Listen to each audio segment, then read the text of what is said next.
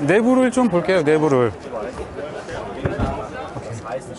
내부는 이게 신모델인 것 같아요. 신모델인 것 같은데 트윈베드 타입으로 뒤에는 설계되어 있네요. 그리고 별도로 샤워부스 반대편은 화장실 되겠죠. 자 이렇게 보시면은 그냥 한 공간이 자연스럽게 연출이 되는 거죠. 한 공간이 샤워실, 화장실, 그 다음에 침실까지 해서 하나의 공간이 자연스럽게 이루어지는 게 되는 거죠.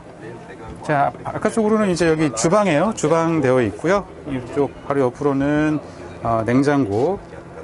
음, 근데 up-down bed는 이건 없네요. up-down bed는 없고 그냥 그 벤치 타입의 시트하고 swivel seat 이렇게 네 개로 그래서 굉장히 넓은 공간이 조금 더 어, 그런 곳에 더 중점을 둔 모델인 것 같아요. 저 앞쪽은 지금 파노라마 roof창, roof창 그다음에 대형 창 같이 해서 거의 파노라마 roof 타입으로 천장은 어, 디자인되어 있습니다.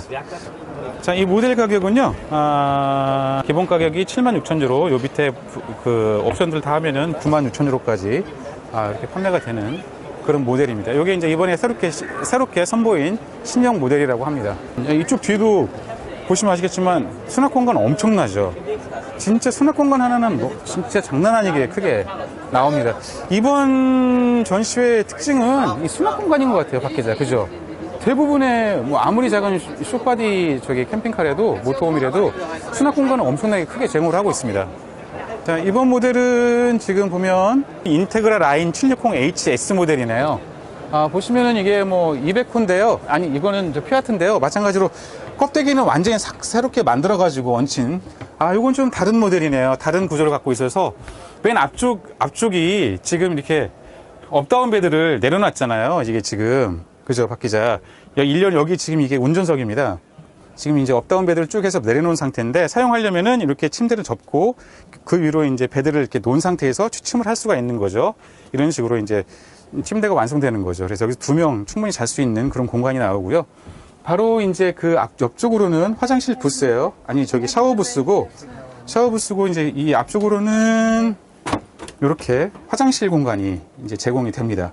그래서 마찬가지로 닫으면은 이 공간은 이렇게 이제 하나의 또 그 독립된 별도의 침실로 사용할 수 있게끔 되어 있는 구조. 유라모빌은 이게 이게 컨셉인 것 같아요. 그리고 이제 후방 쪽으로 이제 보시면 U자 타입의 리빙룸 거실 공간이 마련되어 있어요. 위에 위엔 전부 다 어, 수납 공간, 수납장 다 지금 되어 있고요. 이게 테이블은 360도가 다 이게 돌아간다고 합니다. 이렇게 그리고 동서남북 방향으로도 이렇게 움직일 수가 있고요. 아, 주방은 기역자 타입이고요. 3구 이제 가스레인지가 잘 제공되고 있고 two door 타입의 그 냉장고도 아, 이건 그러네. 아, two door 스타일이네요. 그 옆으로 이제 옷장 옷장 잘 이렇게 구성이 되어 있고요. 요거는 구성을 완전히 지금 이제 앞뒤가 바뀐 그죠? 전방과 후방이 바뀐 그런 그 레이아웃의 평면을 가진 그런 모통으로 보시면 될 것 같아요.